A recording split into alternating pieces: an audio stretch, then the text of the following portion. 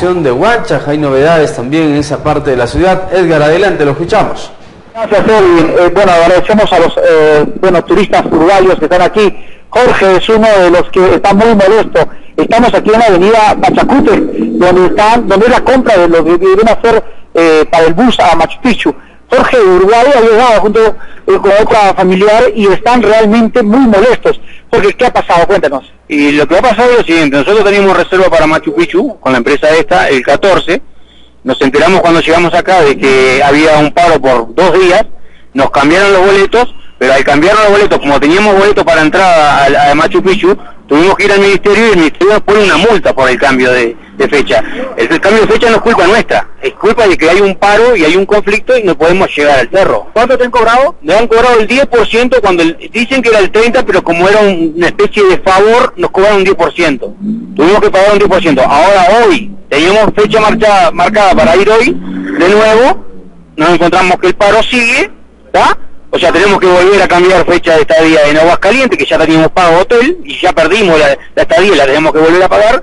Pagamos casi desde acá a por hoy, por hoy, desde por hoy para acá de vuelta, porque allá nos enteramos que había paro, ni siquiera la empresa nos avisa de que hay un paro. No se ha dicho nada. Nada, ni siquiera nos comunica por teléfono, ni por internet, ni, ni tiene nuestro correo, nos cobró anticipadamente 15 días antes, según lo pasa Perú Rey, 15 días antes nos cobró por, por tarjeta nuestra plata, y ahora dice que nos puede devolver pero en quin- dentro de 15 días la plata. Y mientras tanto nosotros estamos pagando hoteles, estamos pagando traslado, estamos pagando multa al ministerio, porque ahora vamos a tener que ir al ministerio. Sí, muéstranos, por favor.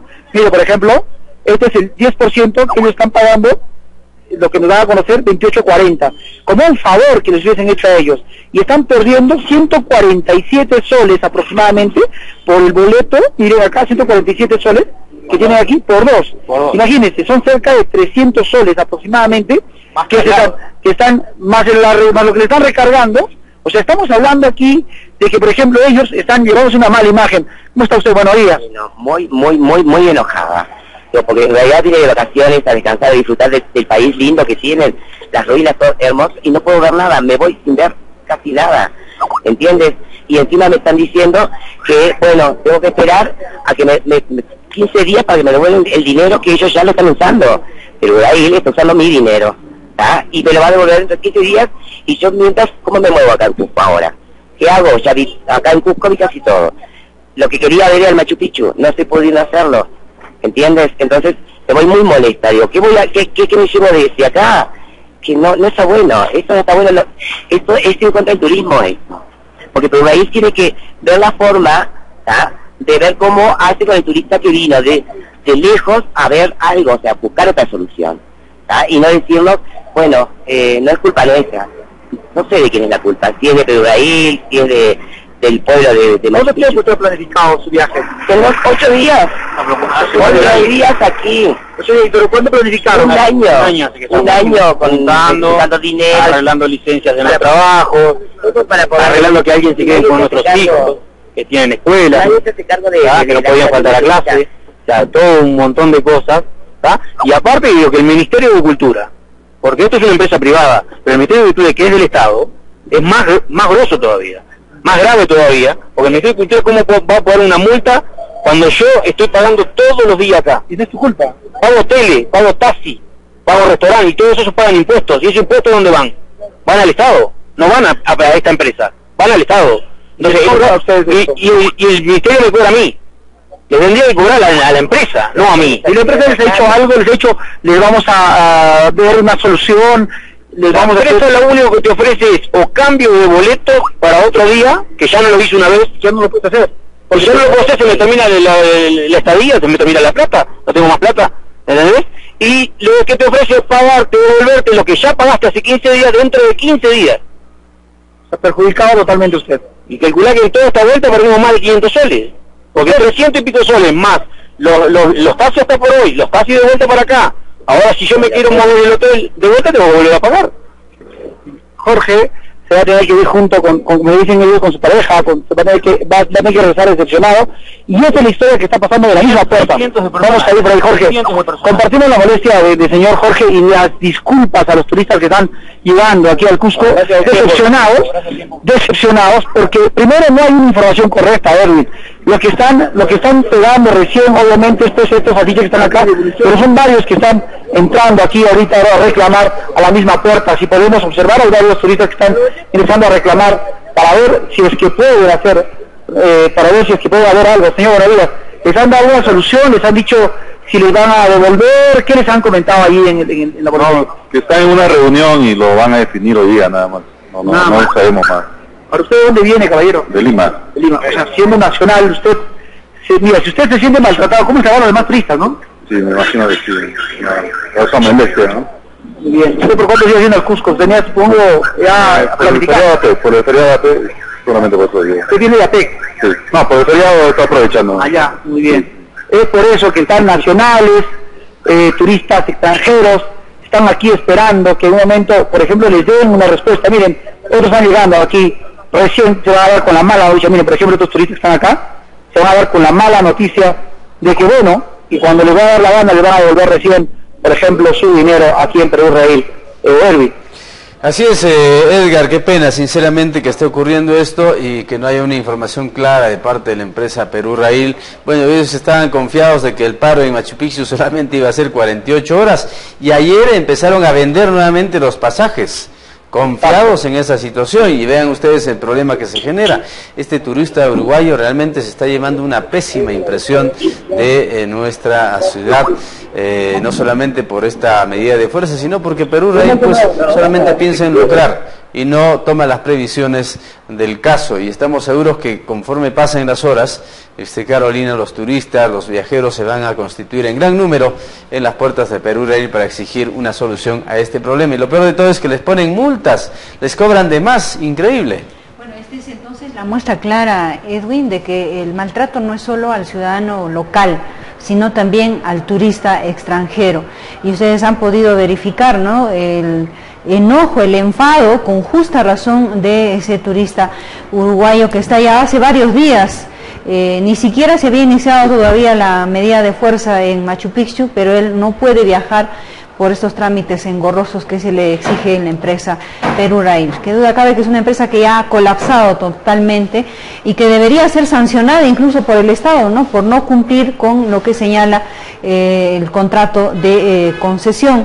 Eh, además hay que decir lo siguiente, Edwin, ha habido una irresponsabilidad total de la administración de esta empresa porque ayer tras eh, los dos días de paralización, aproximadamente a las 7 de la noche u 8 yo recibí un comunicado de la empresa diciendo que reanudaban el día de hoy sus actividades.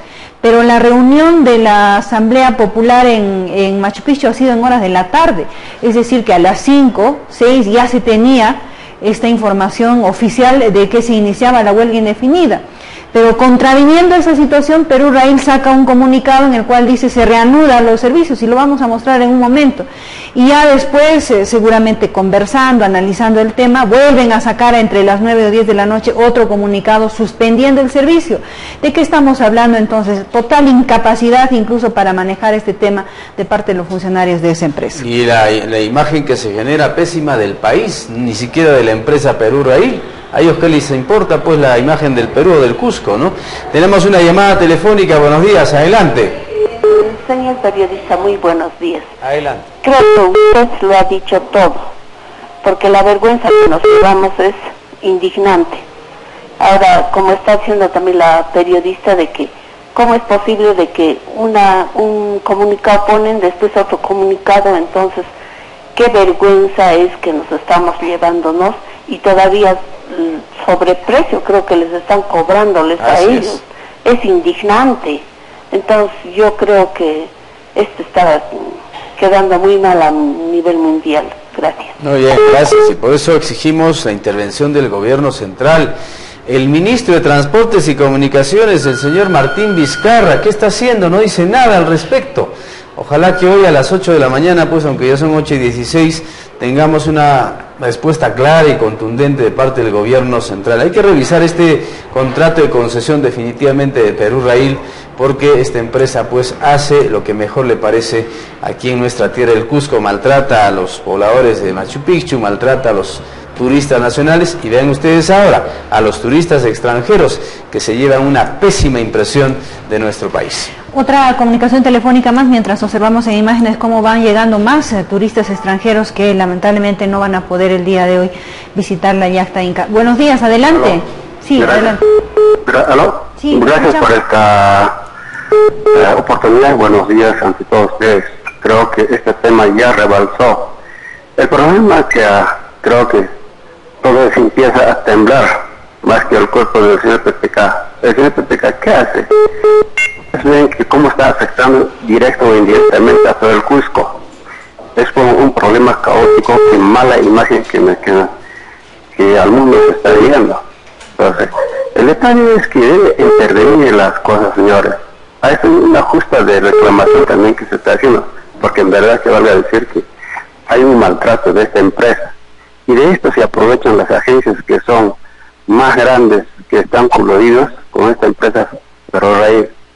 Creo que ustedes como periodistas tienen la autoridad, poder ingresar a los más lugares y sacar la información y descubrir los malos manejos o maniosamente que están haciendo. Solo así podemos enterarnos del pueblo y tomar las decisiones. Gracias, Todos en señor. conjunto vamos, tenemos que trabajar para solucionar, no para hacer un problema. Bien, más. Muchísimas gracias. En el país eh, parecemos tener eh, un Estado por encima de otros, ¿no? Y pareciera que las normas la ponen las empresas transnacionales y no el propio Estado que eh, debe administrar el país para la comodidad de todos, ¿no? Solo para aquellos que nos visitan, sino para los ciudadanos comunes y corrientes. Y eso está sucediendo en Perú, Raíl, ¿no? Hace algunos meses atrás quisimos hacer un informe y con la imparcialidad que le caracteriza a TV Sur quisimos conversar con algún funcionario de, de la empresa Perú Raíl. Nadie la. Cierra puertas totales. Nadie la- nadie- y, nadie y- quiere y hablar. esto ha sido todo el tiempo. Durante todo el tiempo de concesión nunca nadie, salvo algunas veces que les conviene a ellos que nos convocan a conferencias de prensa para noticiarnos de sus nuevos servicios, nunca han querido dar la cara los funcionarios de la empresa Perú Rail. Eh, al punto tal que tuvimos que grabar eh, sin que se diera cuenta una funcionaria que yo a mí me quedó grabado lo que dijo, ¿no? Con los 10 soles que dan los ciudadanos locales, ¿crees que vamos a poder comprar siquiera un medio litro de combustible para que funcionen esas unidades? Así que como ellos no nos dan ningún ingreso, no tenemos por qué mejorar sus unidades vehiculares. Ese es el pensamiento que lamentablemente tiene la empresa y lamentablemente el gobierno, con la anuencia del gobierno central eh, del señor Pedro Pablo Kuczynski, que antes de la paralización ha enviado un funcionario de cuarta, quinta categoría sin eh, poder de decisión alguno para que converse supuestamente con los representantes del Frente de Defensa. Bueno, el contrato de concesión es claro, ¿no? Esta empresa debía ya haber renovado estas unidades, es. estas eh, furgonetas, eh, ¿no? Estos coches, pero nada de nada hasta el momento, ¿no? Seguimos en lo mismo, utilizando estas eh, unidades vetustas que eh, son un maltrato realmente para nacionales y extranjeros. Una llamada telefónica más, buenos días, adelante. Muy buenos días, señores periodistas. Bien, siempre llorando sobre la leche derramada. Siempre llorando sobre la leche derramada. Usted recuerde, les voy a recordar que a través de su informativo, hace buen tiempo, hablábamos acerca, en, principio, cuándo nos recuperamos Perú Rail. Pero estas para ustedes eran palabras ciertas, eran opiniones sueltas. Luego, antes de la renovación del contrato, a través de su informativo, de que había que organizar una campaña, había que movilizar a la sociedad civil, había que eh, oponernos a la renovación del contrato, pero también eran palabras necias, ¿no? Ahora, estamos hablando reiteradamente, y ahí están los resultados, estamos hablando reiteradamente sobre los 80 millones de dólares que hemos puesto los cusqueños, se ha sacado de nuestro canon para comprar los terrenos del aeropuerto pedir una reforma constitucional, una reforma, au- aunque no es ni necesaria, porque existe la posibilidad, aún con esta constitución irrita, la posibilidad de la inversión público-privada, pero no, necias, no, esto no puede tomarse en cuenta, no, no, esto no, no puede tomarse en cuenta, señor, Yo creo que las cosas hay que hacerlas oportunamente. Y en este instante, yo creo que el momento es causal suficiente de que esta empresa no ha ninguna renovación de los vetustos coches y de las vetustas locomotoras que son nuestras, señor. Pero aquí estamos. Tenemos que movilizarnos. Esta empresa es una mina, son los recursos que nos van a quedar y hay que recuperar 30, 40 años, ni usted ni yo vamos a ver la devolución de esta empresa. Pero ahí están, estas son palabras. Señor, hay que hacer las cosas oportunamente, organizar, hacer el seguimiento y ser cusqueños y hablar con, con, hablar con propiedad, porque son, son, son las próximas generaciones. Gracias a Dios, en fin, habría que hablar de los nuestros que, bueno, en fin, están afuera, nuestros hijos, qué sé yo. Tendríamos que seguir, tendríamos que luchar por esto.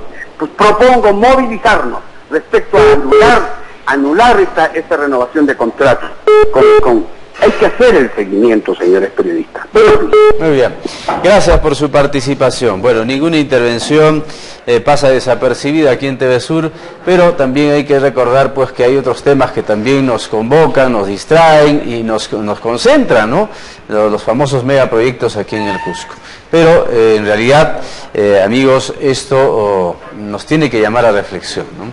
y hay que exigirle a este gobierno que revise este contrato de concesión y si Perú ya no puede atender esta gran demanda de turistas nacionales, extranjeros y pobladores de la localidad, pues simplemente que se retire, ¿no?